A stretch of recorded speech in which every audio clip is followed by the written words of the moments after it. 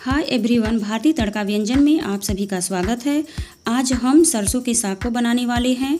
तो चलिए देख लेते हैं कैसे बनेगी। यहाँ पे हमने आधा के जी के लगभग सरसों के साग को धुल करके अच्छे से ले लिया है और आधा के जी के लगभग यहाँ पे हमने पालक का भी प्रयोग किया है, उसको भी धुल करके ले लिया है। अब चलिए इसको काट लेते हैं हम।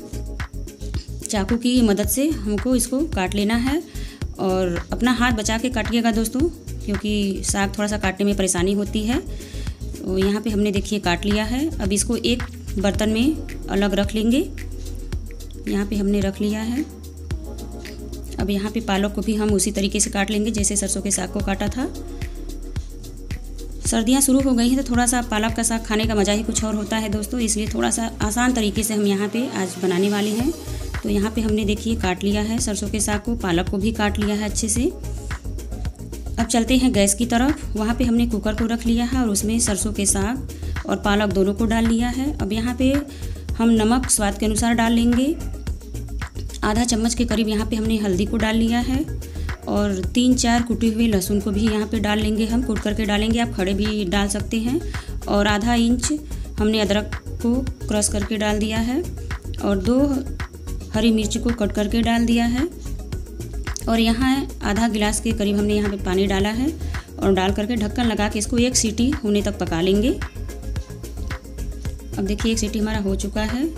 देख लेते हैं, ये हुआ है कि नहीं? इतना बढ़िया देखिए, हो गया है दोस्तों हमारा। अब इसको अच्छे से हम चला लेंगे, चला के मिला लेंगे। अब पोटैटो मैसर से हम इसको मैश कर लेंगे अच्छे से, क्योंकि इसका लुक और बढ़ जाएगा ऐसे। और यहाँ पे मेरा वीडियो थोड़ा सा स्किप हो गया था, दोस्तों, इसलिए हम नहीं दिखा पाए हैं। यहाँ पे हमने दो चम्मच मक्के के आटे को पानी में घोल करके डाल दिया है। इसको डालने से इसका और भी स्वाद बढ़ जाता है और देखने में लुक भी अच्छा लगता है। और इसको फिर पोटैटो मैसर से हमने मैश कर दिया। देखिए कितना बढ़िया देखने में हमारा साग लग रहा है और बन के तैयार भी हो गया है। अब चलिए हम तड़के की तरफ़ चलते हैं। पैन में हमने तीन चम्मच सरसों के तेल का प्रयोग किया है, क्योंकि साग में तेल ज़्यादा अच्छा लगता है। आप घी भी यूज़ कर सकते हैं। हमने तेल डाल दिया है और उसमें तीन चार खड़े लाल मिर्ची को डाल दिया है, एक कट करके प्याज को डाल दिया है। अब यहाँ पे तीन चार लहसुन की कलियों को कूट करके डाल दिया है। दो हरी मिर्च को हमने कट करके डाल दिया है और थोड़ी सी अदरक को डाल दिया है दोस्तों। अब इसको थोड़ा सा भून लेंगे। अब इस पर हमने तीन चार पिंच के करीब हींग को डाल दिया है, क्योंकि हींग स्वाद और बढ़ा देता है साग का। और आधा चम्मच के करीब हमने रेड चिली पाउडर को भी डाल दिया है। खाने में स्वाद और बढ़ जाता है इन सबसे।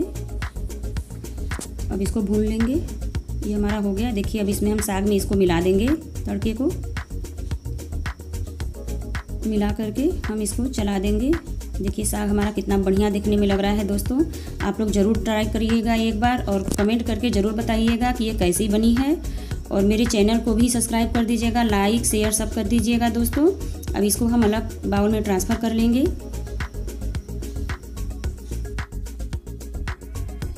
देखिए हमने निकाल लिया है और इस पर थोड़ा सा गार्निश के रूप में बटर को डाल देते हैं।